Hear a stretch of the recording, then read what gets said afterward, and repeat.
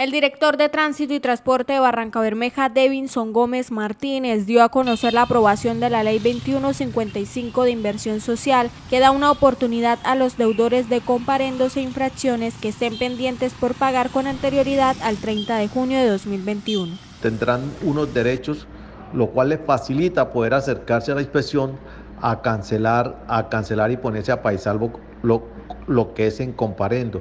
¿Qué quiere decir? Que entre los cuatro meses siguientes a la entrada a vigencia de esta ley, solamente pagarán el 50% de capital sin intereses de mora.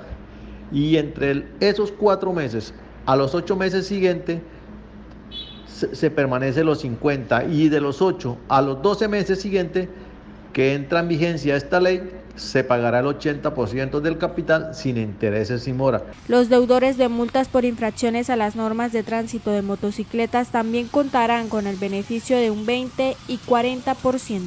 Dentro de los seis meses siguientes a la entrada a vigencia de la presente ley, solo pagarán, mire cómo es, solo pagarán el 20% del capital sin intereses. Y entre los seis y ocho meses siguientes de la entrada de esta, de esta ley solamente pagarán el 40% de los sin intereses. Y desde los 8 hasta los 12 meses solamente pagarán el 60%.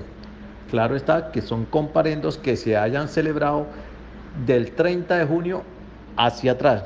¿Cuándo empezamos a regir esta ley? ¿Cuándo se puede, puede hacer efectiva? Estamos esperando que el CIMIT parametrice, haga la actualización y se puede aplicar estos beneficios. Cabe resaltar que estos beneficios no se aplicarán al pago de multas de personas que hayan cometido infracciones a las normas de tránsito bajo los efectos del alcohol ni sustancias psicoactivas.